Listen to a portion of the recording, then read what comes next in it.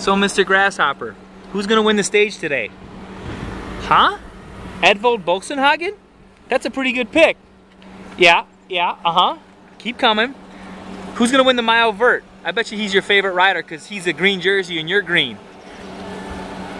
Frankie, put your finger next to him so that people can see how big this thing is. This is a big ass grasshopper. There's a reference point. There's Frankie's finger. Ah! Whoa!